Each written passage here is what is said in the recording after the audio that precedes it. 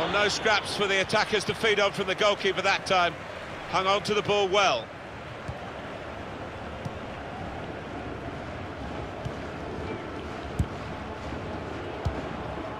Griezmann.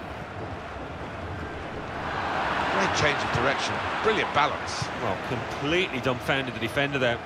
Came in. Griezmann! And they have scored. And they do lead now by two. And they've worked very hard for this.